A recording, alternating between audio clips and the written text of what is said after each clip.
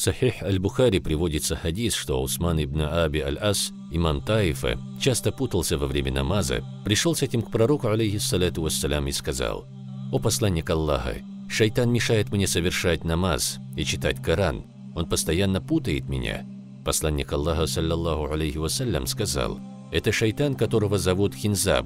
Если ты почувствуешь его, то попроси защиты у Аллаха и поплюй три раза налево». После этого Усман признался, «Я начал так делать, и Аллах отвел от меня шайтана». И так этого шайтана зовут Хинзаб, и он выполняет определенную функцию. Он появляется к тебе только тогда, когда ты встаешь на намаз, и исчезает, когда ты заканчиваешь. Он начинает внушать человеку разные мысли, напоминая ему о таких вещах, о которых человек и не вспоминал. Он напоминает тебе о твоих делах, которые ты должен сделать после намаза, напоминает о том, что ты забыл что-то в машине, либо внушает какие-то плохие мысли. Делает все, лишь бы тебе помешать и запутать. Пророк указал, что это от шайтана. Когда ты встаешь на намаз и понимаешь, что шайтан борется с тобой, и что это твой враг, появляется внимательность. Ты становишься более сконцентрированным, чтобы противостоять своему врагу. Поэтому посланник Аллаха, алейхиссалату вассалям, говорил, что будут люди, которые после совершения намаза получат только половину от награды за него.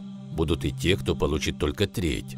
Посланник Аллаха, алейхиссалату вассалям, сказал, что некоторые не получат от намаза ничего, кроме усталости, никакого вознаграждения. Шайтан украл все.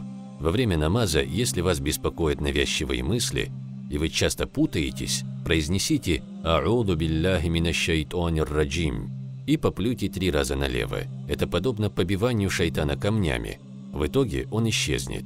الذين آمنوا يقاتلون في سبيل الله والذين كفروا يقاتلون في سبيل الطاغوت فقاتلوا أولياء الشيطان.